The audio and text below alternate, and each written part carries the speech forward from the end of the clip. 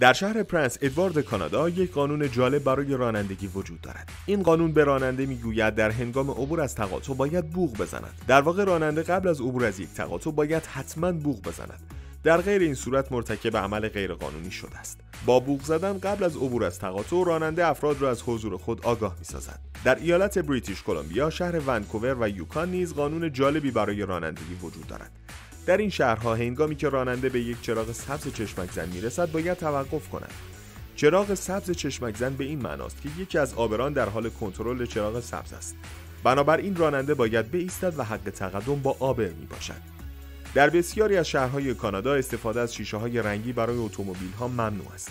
علاوه بر این مقررات باید گفت که در کانادا رانندگی کردن بدون پوشیدن کفش و یا استفاده از کفش های پاشنه بلند خطرناک بوده و در صورتی که موجب تصادف شود شامل جریمه خواهد شد. گواهینامه های رانندگی که در کانادا برای افراد صادر می شوند 5 سال اعتبار دارند. پس از پایان اعتبار این مدرک شخص باید برای تمدیدان اقدام نماید. افرادی که به کانادا مهاجرت می کنند و گواهینامه یک کشور دیگر را دارند حداکثر ظرف مدت 6 ماه باید نسبت به دریافت گواهینامه جدید اقدام کنند.